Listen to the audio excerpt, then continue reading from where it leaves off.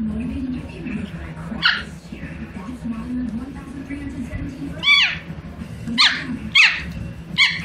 Goals on the line are get started at facebook.com slash powered by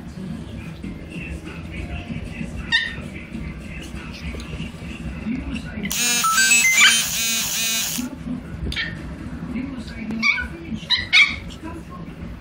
You want Forget about it. This is New York.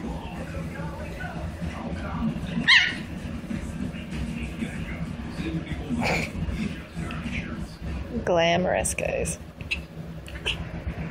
There's Allison Felix, three-time world champion in the 200 meters, getting set to run her semifinal in the Olympic 200.